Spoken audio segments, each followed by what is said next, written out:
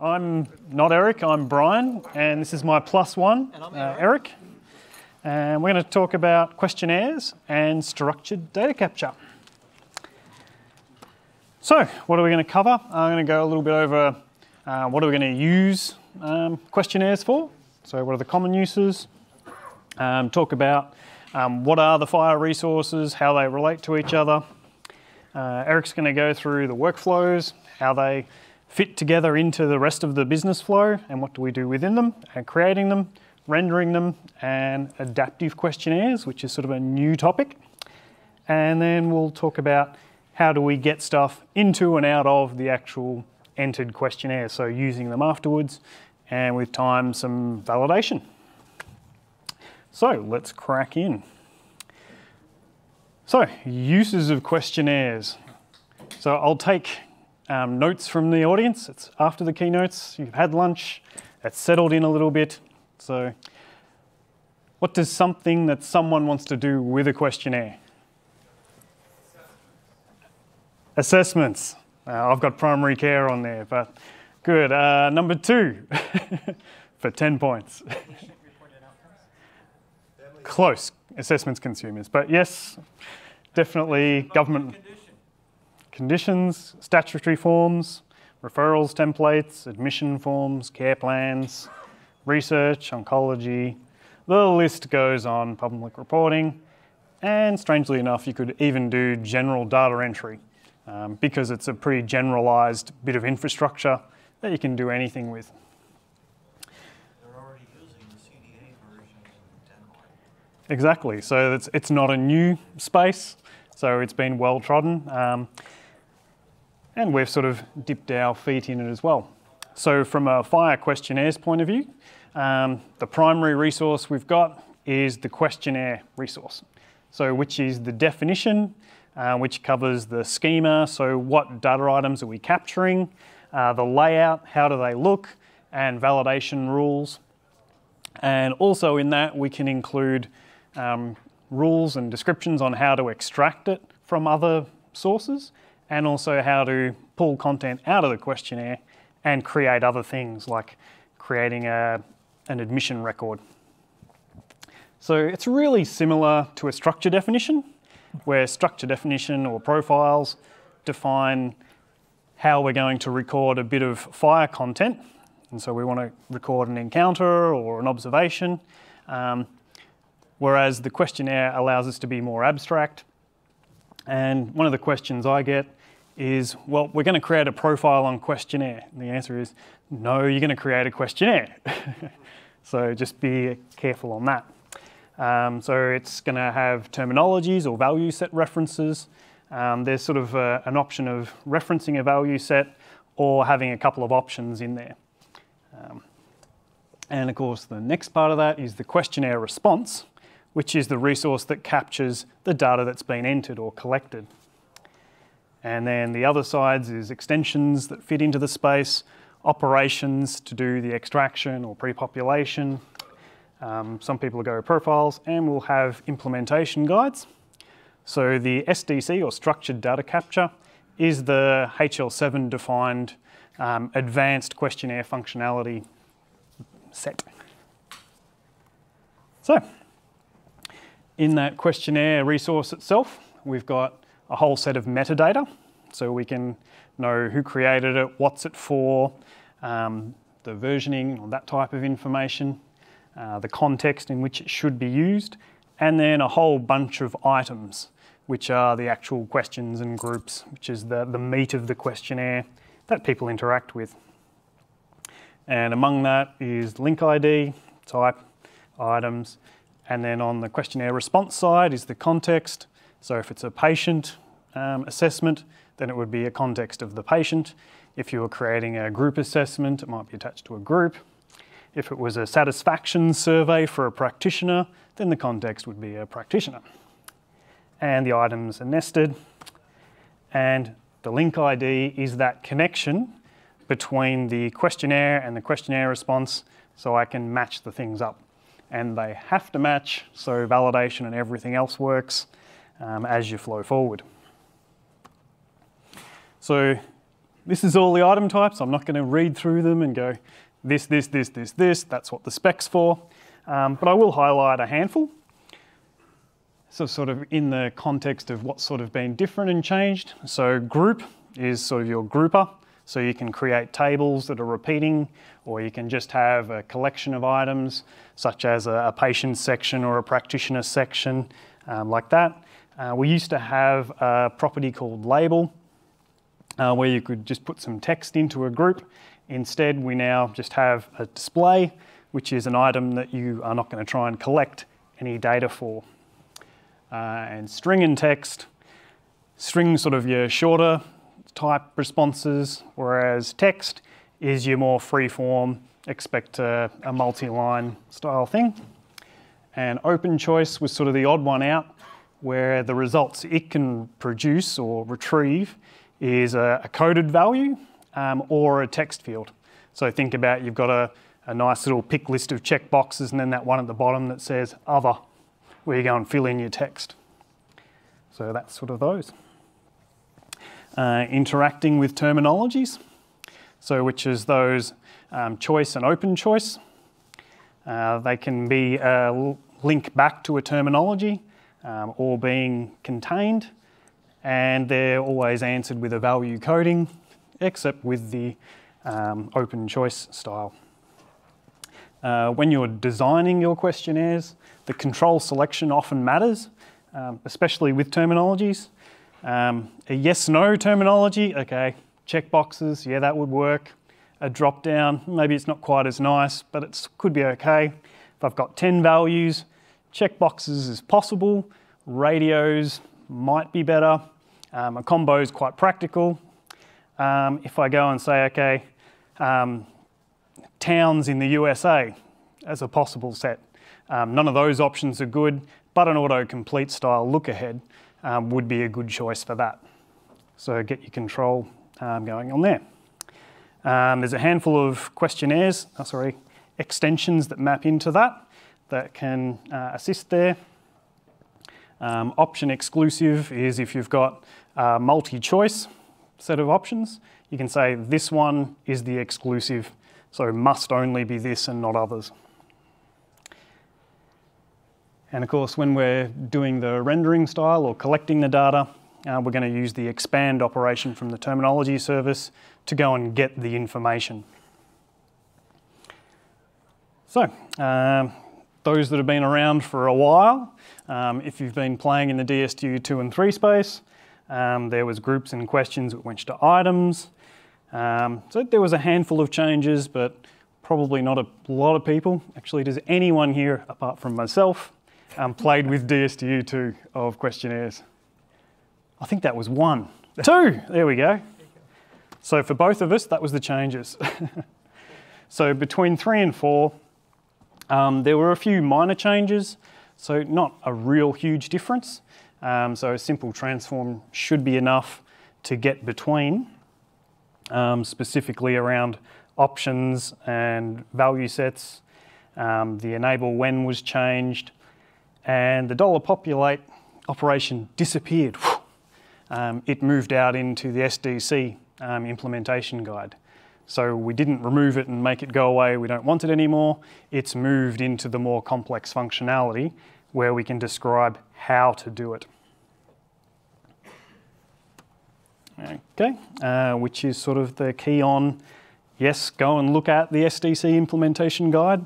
Um, that's where we've got um, extensions to those core, core implementation, um, how advanced rendering can work, um, more advanced form behavior, and getting stuff in and out of those definitions. At which point I shall hand it back to. Okay, so workflow, and I'm going to also introduce you to the um, Argonaut questionnaire guide, which the way I look at it, the SDC guide, take a look at it, but that's more like the graduate level course in, in, questionnaires. It does a lot of things, a lot of advanced things. And it's a bit complex. I think we have a more of a middle school guide that we created on Argonaut that does the simple stuff. So I'm going to focus on that and talk about a couple workflows we describe in there using a simpler form. And then once you understand that, it's easy to jump into the SDC and look at the, the, um, the more advanced features. So first of all, um, in the workflow, we have, um, in a very simple workflow, you, you, you, an author guide, you store it somewhere, and somebody goes and picks out that guide. They load it up in their, in their, um, in their application and render it, and they grab uh, the responses from a, um, a, a, subject who's creating a response or, ask, or, or, somebody who's actually recording what the person is, or patient is responding. Um, and then you go ahead and um, you enter the data. There's, there, there's an optional step of validating that on the local end. Um, the, uh, the questionnaire response is then uh, stored somewhere and it may be validated again on that, that storing server. And, um, and, and then it, it's validated and then it's stored in some target servers. And then you can also have another step where you're actually looking for the responses. Maybe you're collecting responses and doing some statistics on them. So you might have a, another step after that. So in the Argonaut questionnaire implementation guide, we've, we've come up with this static form workflow, which is very similar to what I described, and I, I in nice little pictures, I show it right there. Um, and so in this guide, um, we have, I'm going to switch over for a second, see if this works.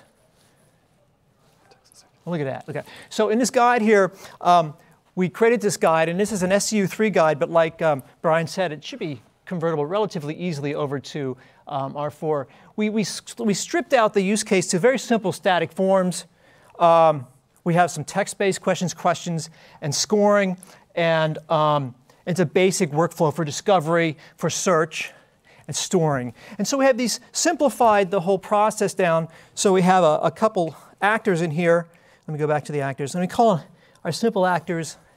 Um, we have a, um, an assessment bank that's where you grab the questionnaire, you look it up, and you, based on your search criteria, and pick out um, a questionnaire you want to use, and then you render it using some sort of uh, uh, the form filler. We call it the proprietary EHR in this case. They render it, they record the responses, and then they may want to store that in what we call an answer bank for, for further uh, analysis later on. Excuse me. So, so here's that picture I showed before, and it just basically goes through that very simple workflow. You grab a questionnaire, you, you um, render it, you grab the, the response to that questionnaire, and you store that, and maybe for later use, you go and grab some of those, those questionnaires to uh, analyze later on. And then we have another use case we talked about here. Um, so this is, I'm, just, I'm going to skip to the next use case in interest of time, where we talk about having adaptive forms. An adaptive form is a form where your next question, your first question you answer, will de determine the, uh, the following question. So, and in this case, in our, in our guide, we, we describe a stateless adaptive questionnaire. And what happens here, and I'll just describe it, is we start in that little green box, we start up there in the corner, um, and you're a form filler. You're the, you're the, uh, the application that wants to re record the questions. So you, you go out and you, for some, you discover uh, a questionnaire out there and you go and you ask them for a questionnaire. And you do that and you consider the adaptive questionnaire service as a black box. You don't care what that does. You're just going to send it a, a request to give me the first question. And then we do that and then the, the adaptive service quest questionnaire service will send you the first question. you answer that question, you send it back to them, and based on that first question, they give you a next question. And typically, and you think about PROs, your, your questions are, it's limited to like less than, usually less than a dozen questions, because based on the first question, they can determine the next question. After that, they get the third question. So each time they iterate through all the questions, they can determine the next question. So you get these, these rather short, interactive questionnaires that are developed that way. And so, um, and in both SDC and Argonaut questionnaire, we've, we've, we've come up with a framework to do this through FHIR, where you actually are, you're actually exchanging a couple objects. You're exchanging a questionnaire response object, and within, within that, you're building the questionnaire.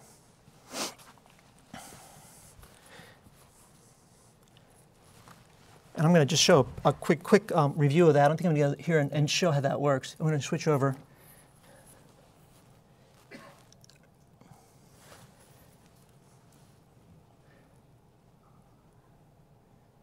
In fact, I'll use this one here.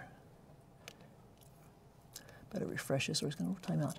So I'm going to take a, a set of questions here, and I'm going to, this is just a little demonstration piece, but it, basically, so basically you, you, you uh, discover a questionnaire you want to use, and then you, you, you fetch it. So you, you go ahead and grab that first questionnaire. And, and in, in, this, in this little demonstration, I have that little box down there below. It shows a contained questionnaire within a questionnaire response. And if you look below here, now the, the links are in your notes when you get them. It just shows the structures below here. But basically what happens is you post to the, the service, it sends you back your first question, and then you answer that question. So we'll check the little box here. And then what happens then, it, that gets updated on, on the client end, and then they send it back to the service.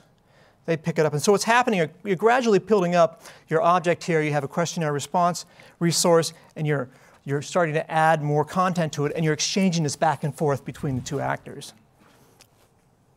So we'll click it again. Hopefully this, this keeps going here. And then you get another question, and we got another average error. We got, if you know your Monty Python, you'll be able to answer this. You have to look it up on the web, though. It's about 11 meters per second, I believe, for a, a laden swallow. Um, unladen, I think it is, but I got that wrong. So again, what happens is we're starting to build, as you can see, we're starting to build up our, our questionnaire answer res uh, resource, and we're starting to add questionnaires to the questions to the contained questionnaire, and we're starting to fill in the, um, fill in the questions. And as, as they get populated, they go back to the service. It looks at that, runs through them all, and determines the next question. So if we we run through this real quickly, and I'll just go a couple more clicks here. It should end pretty quickly. So it just goes back and forth, back and forth. And then we get this final questionnaire completed. So typically that's a flow of an adaptive questionnaire. And using the FHIR resources, we just exchange it back and forth using an operation, and it'll, it'll um, give you the, um, that, that particular workflow. What's that? Yep one. Okay, and let's see what we got here. Okay, creating questionnaires.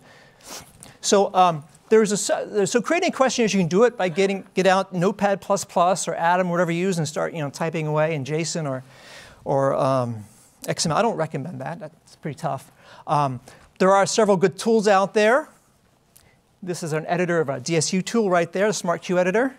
Um, and then the, the National Library of Medicine has built a form builder for LA, it's called LHC FHIR Questionnaire, which I've used. And we actually have a, uh, another, another talk where we're going to do some activities and, and create our own questionnaires. And I'm going to be walking through how to use that to create some, some forms. Graham has an editor, I believe. Is that true? Yeah, he's Graham. And then there's other editors. Anybody else out here create a, a questionnaire editor for FHIR? Any others we don't know about? I didn't do much searching. Did you find any more?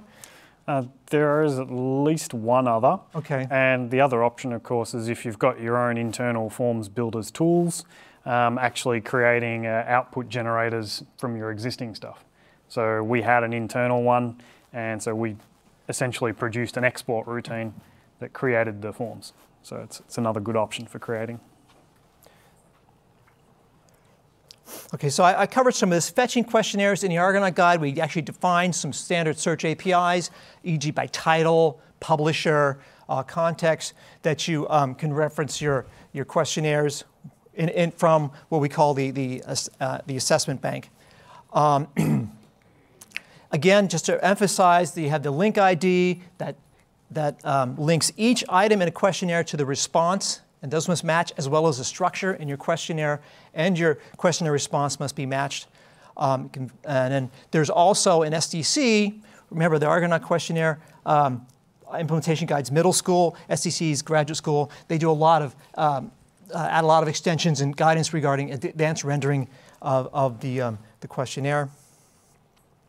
Scoring is another topic. I didn't, I didn't touch on it, but you can score your questions in fact, in both guides, they talk about scoring. In the Argonaut guide, we talk about how to define the score for a particular item. I think the actual logic is defined in SDC. I'm not, is that correct? How, how to do it, yeah. In, in, in the Argonaut guide, we just talk about here's a score. You figure out how to use that score as an implementation specific detail. Um, time limits, we talk about time limits. I won't talk about that right now because of time limits. Um, um, and then you post the answer, you fetch the answer using, again, the standard search APIs. But one thing, that, the reason I have this slide in here is to remind me to tell you that individual responses in a questionnaire um, response cannot be individually searched. You can't say, I want to search for, for question response number six or three. So you have to actually use one, you have to actually store the questionnaire response maybe in your database and search it that way. Or we do, uh, for example, a uh, extraction of the data into another FHIR resource and you can search for individual questions that way. When you want to search by, by patient demographics, which is pretty common when you want to review answers and look for all the females over 30, look at their responses, then you have to sometimes, uh, one, there's several topics that. We talk about in the Argonaut questionnaire about maybe using a patient contained patient resource to give you just the basic demographics so you can tag your questionnaire responses with basic, basic patient demographics. There's a lot of privacy issues there, so it depends how you share that, what, what you can actually share on the patient. But you can't really go directly and look at an individual question in a, in a question and response and search on that individual question. Wrong, wrong screen. okay, I think I'm back to you. Did you want to do the demo? Filling questionnaires? I don't think we have time, do we? All right, I'll skip forward. So, um, converting and mapping to and from other resources. So we'll start off with converting and reading it. So someone's entered in the form and we've received the questionnaire response and we want to take that and actually do something with it. Um, we've got, um, from the specs perspective, we've defined three ways to do it. Of course, you can do your own way on top of that, um, but three is sort of a, an easy, uh, medium and a hard uh, in terms of setting up and using. And of course, it's easy, limited functionality, medium, got good coverage, and hard. Uh, you can basically do whatever you want. Um, so the observation based is really for creating observations.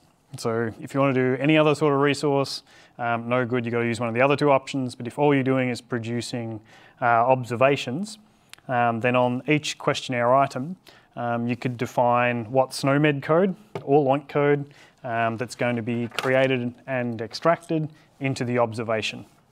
And I made a little demo that we're going to cover in our other talk. What's it called? Let's build. The Let's build. Let's build. Let's build talk. I actually have a little demo that demonstrates that. I don't know if there's any. Are there any applications out there that you found that actually implement that? You do it in your, um, yours. Not yet. Okay, okay. Not yet. So we've. So I've implemented the middle option. Um, so so not the easy one, didn't implement that, go figure. Um, so we implemented a definition-based extraction. Um, so you can use, so every uh, FHIR resource comes with a structure definition, and each of those structure definitions, all of the properties are an element definition, and so I can tag up an item in the questionnaire to say this property um, goes into um, that element definition. So if I'm looking at a, an admission form and on that form there's a birth date field, I can actually tag that up with patient dot um. And so that's how we can fit in there. Um, that'll also work for um, groups. So if I've got my patient admission form and I've got the related contacts, which I've got a list of um, three people's phone numbers in there and their names, I can associate the group item, which collects the information for each one of the contacts. And so I'd tag that up with the uh, patient.contact or patient.telecom, uh, whichever name that is. And then in the questions, so I've got two questions in there. One's the name, the other one's the contact number.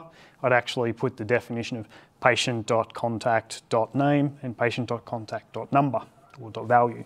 And so you can apply that level. Um, the difficulty is you can't do any split or joins, um, minimal calculations to actually produce that. And then finally is the structure map based thing, which uses the FHIR mapping language. And so there's an extension that you can tag on it and say use this structure map. Um, there was another talk, I think it was earlier today, um, that covered doing that. And I'm not going to go into a demo of that. Um, is there an application or have you done that? Um, Graham might have something to say. have you done uh, FHIR mapping, map? structure map between questionnaire responses and stuff? No. So there's a tool that does it, but uh, hasn't been exercised. Yeah. I'll go chase that.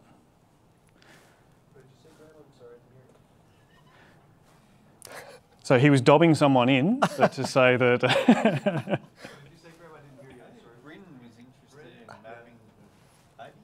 Maybe. Bryn. Bryn, Bryn. Okay. Bryn Rhodes. Yep. So pre-population is the opposite of everything I just talked about and comes in all three flavours as well, um, which is the step of um, here's the admission form. Um, we don't want you to have to go and fill all 150 fields in when you've already got 75 of them already sitting in your, your primary care system or your GP system or even a patient portal. Um, so let's do a populate operation, which goes and grabs all of that stuff and puts it into the form before it's shown to the user. So that way it sort of cuts down the time it's going to take to actually go and work with it.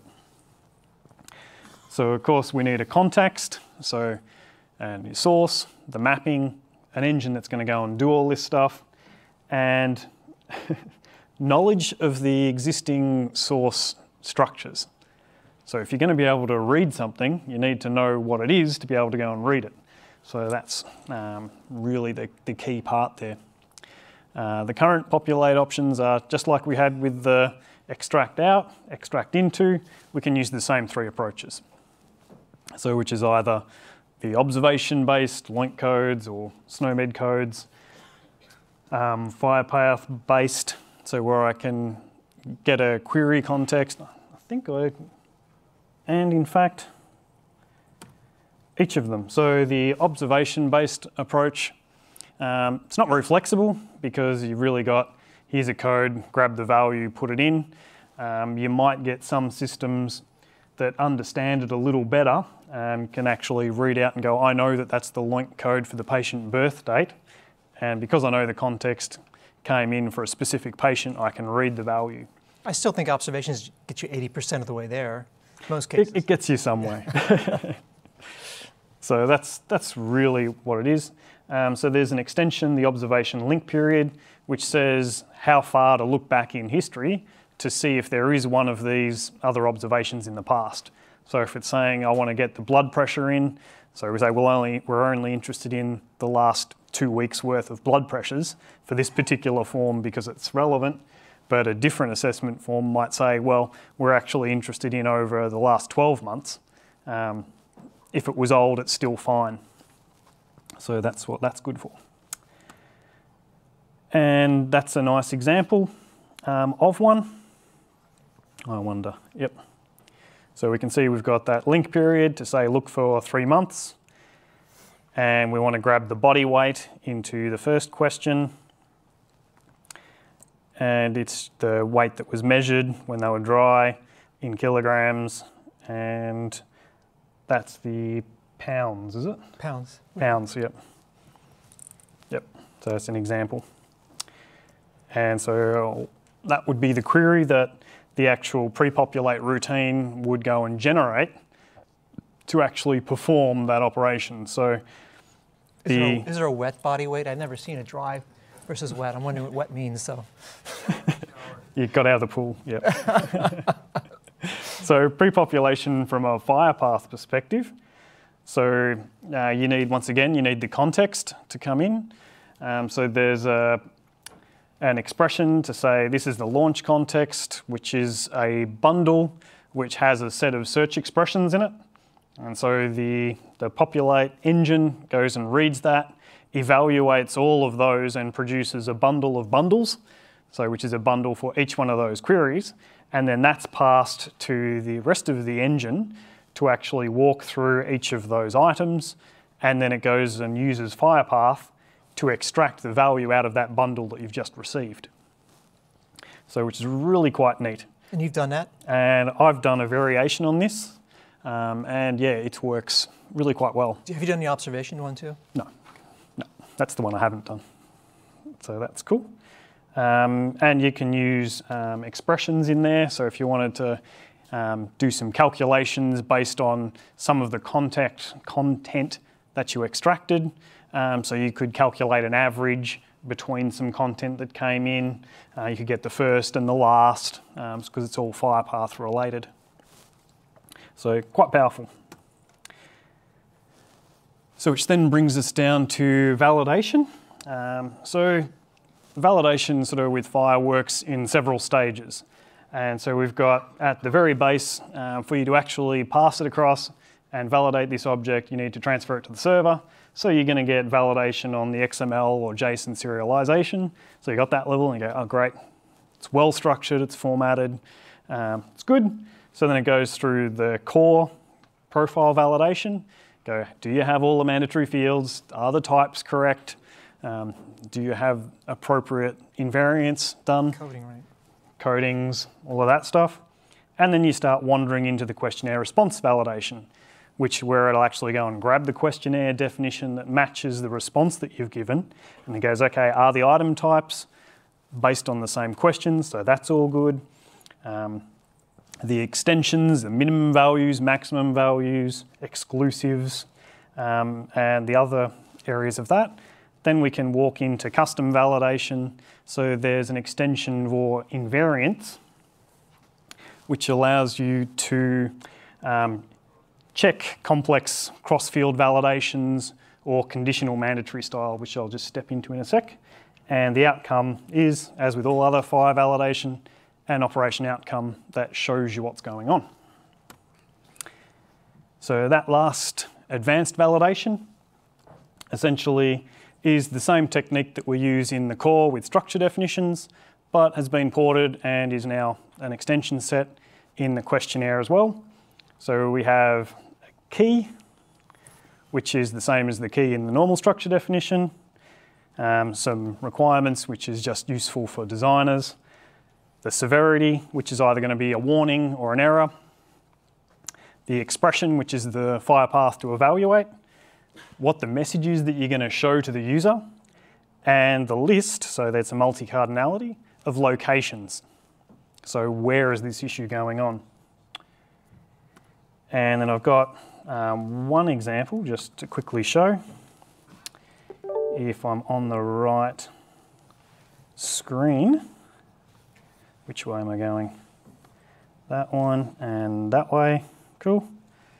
So just to show an example of this, so business rule A01, it's an error, giant expression, which is quite complex. And we've got, in this particular case, there's two locations because we're comparing two fields to say if this field's entered in, then this one must also be entered in. So it's sort of a conditional, it's mandatory, but only if the other one's there. So that's one example. Another one here is just a warning, which is an expression for that particular question to say the answer, which is a date, has to be less than today. So which is sort of using that calculation technique. And then one more, I'll scroll down. So we can even put it on the item itself. So rather than just at the top, we can put it at whichever item makes sense. And what's our expression on this one? So oh, it's a simpler version of the same one. So, and just while I'm here, so here's an example of that extract. So the initial expression, so the worker's family name is patient.name.family.first.family.first. So actually that's the expression to pull that bit of data out. And is that the spot? Yep. So I think that's sort of. So, so I had one question, if I can ask mm -hmm. validation, because I, I go to the structure validation, I stop there. You did the next step where you take mm -hmm. and validate against the questionnaire. What creates? What are the rules generated by the tooling? The how does that um, work for the validation, the questionnaire validating the questionnaire response? So it's implemented in my server. Okay. So I've implemented that. Um, the rules are quite similar to the same stuff that we've got with structure definitions. Okay. So it's really the same sort of thing. So there's min values, max values. Um, so, so does it just take the questionnaire definition, which is a definition, it yep. just takes that and applies it to the question and response to create. Essentially, yes. Is that is that a inbred? Is that built into the FHIR spec, or is that something you, have implemented? Um, I guess it's described by the FHIR spec, okay. but there's. Um, I'm looking at Graham. I'm not sure. yeah. Okay. So yeah, they're like that's the expectation. Okay. Right. So yeah. So which I guess that's sort of where we've wandered to, and Anyone else got questions? Surely, yep. Um, This may be partly motivated out of a lot of ignorance. I haven't looked at the details of the questionnaire and FHIR. But um, first of all, adaptive questionnaire. Uh, It seems to me like as it's going back and forth between whoever's answering the questions, whoever's producing the questions, what's going to end up on the server? Because the answer is a questionnaire response and what's going out is the questionnaire form definition. It's always a questionnaire response that you're passing back and forth. That's the main object. You contain the questionnaire inside it. So it's just, just passing back and forth the questionnaire response. Yeah, so i- in the end, on the FHIR server, are you going to have an- a different questionnaire response resource for every single one of these adaptive attempts? When you say the survey, the, the, the, we'll talk about the client, the one that's asking the questions. The client is asking the question, it's getting the structured form from someplace. Yeah. And I'm assuming that's sitting on a FHIR server so somebody can take a look at it or audit it later or something. It's sitting on a FHIR server, Yeah. that resource. Yeah. The, the, the client gets it, who knows, he's maybe a hundred miles away, and answers the question, goes back to the FHIR server or this engine that, uh, as a questionnaire response. That questionnaire response then I guess sits on the server, uh, and then a next question structured form goes out. I don't It's, they don't remember it, they read it each time anew. yeah, I'm just talking about the client. I'm Okay, okay. What's on the server. Okay. I mean, it, this adaptive structure sounds to me like when it's all over, at the source, the server, not the client. The client's got nothing at the end. It's all gone. But in the end, every time he's answered a question, or she's answered a question, you've had a new structured, I mean, a questionnaire response resource mm-hmm. been created by the client. Now that's sitting on the server. So if you've got a hundred questions, you've got a hundred questionnaire responses, all small, but Well, you've got a hundred questionnaire responses that have been created and transacted Right, between, and I would have expected on the server side that those would become versions of that same questionnaire response. That's one way to do it, yeah. You So could- it's you sort of like an them all. update, update, update, and so it just gets bigger and bigger. questions in each one. Or- It's yes, it's different questions, but it's it's appended onto the same response. Oh. Does that make sense?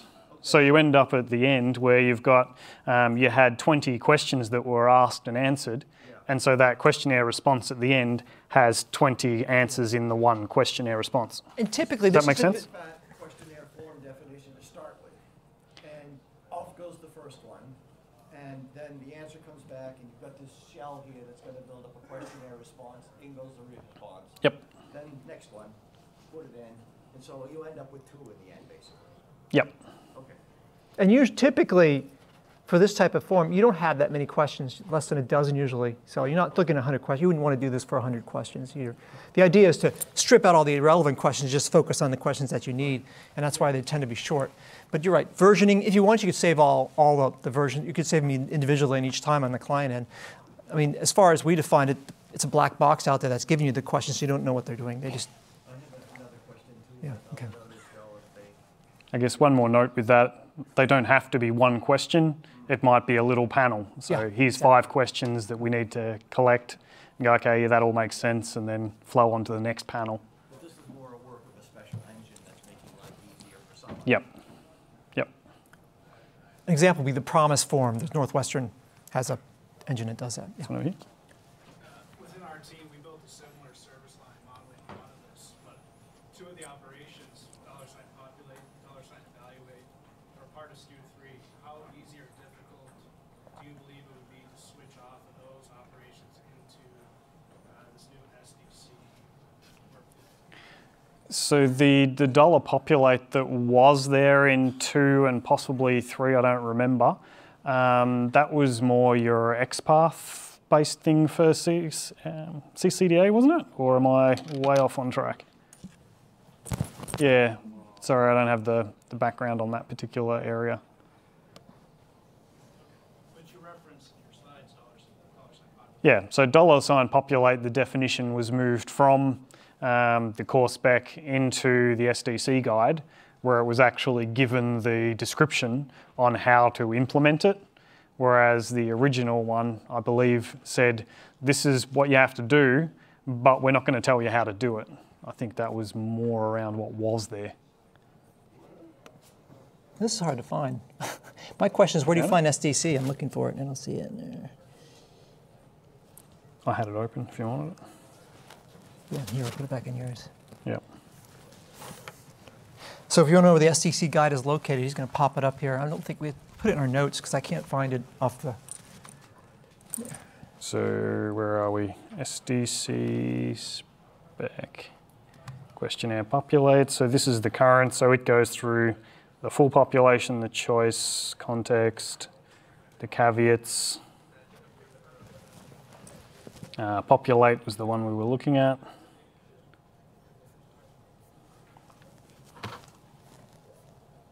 Do do do.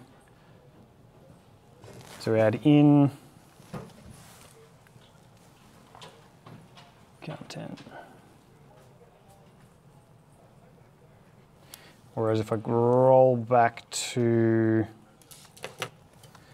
hl7 dot org slash fhir slash stu3 slash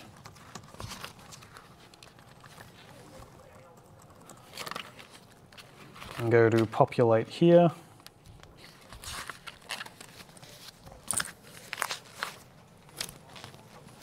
Okay, go.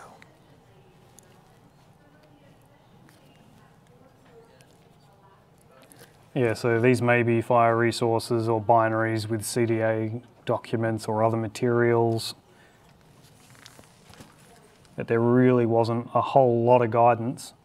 Um, there was concept map was one of the ways that was suggested could be used, um, which is what turned into the structure map model. Um, but yeah, I didn't have a go at implementing that section. So, and I just want to say at, at the at the 440, we're going to have a Let's Build questionnaire session. That's going to be, where's that going to be? St. Helena, St. Helens. St. Helens. Yeah. So there was one other question. Yep. Yeah, the adaptive flow, um, contain questionnaire resource like in a static flow. Yep. It's exactly the same structure, just contained.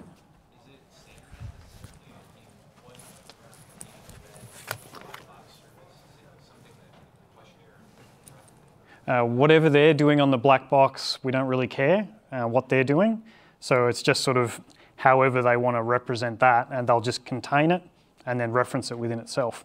So one of the things I would expect is that the questionnaire or that one would actually have all of the questions that they've already answered will be in there as well, um, but quite possibly have them tagged as hidden so that they're not being shown to the user, so they don't have to see all that stuff, but it's still there as it goes back and forwards. Does that make sense?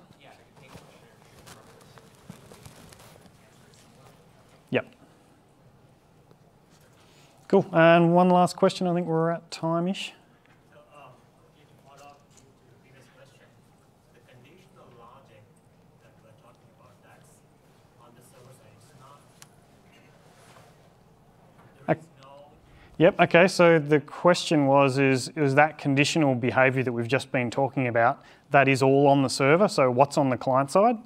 Um, so there is enable when capabilities, which we didn't sort of talk about. Go to your side here. Am I on yours or mine? Yours now. Yeah, so that there is a level of that. Uh, go the right way. So questionnaire.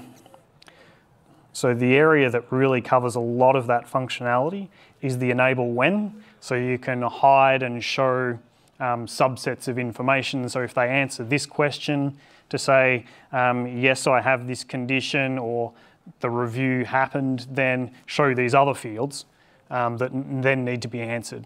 So that's where a lot of that functionality, and certainly where a lot of the forms I've been involved with, they tend to do that rather than trying to do uh, back and forwards adaptive. They've just got a whole series of different panels that are all set up and just show them at the appropriate time rather than do this conversation back and Yeah, forth. Yeah, that's kind of the analogy. The enable when you don't use that adaptive because you're, that's what Yeah. you're doing. You're going back and forth with. Yeah, The adaptive is doing it for you.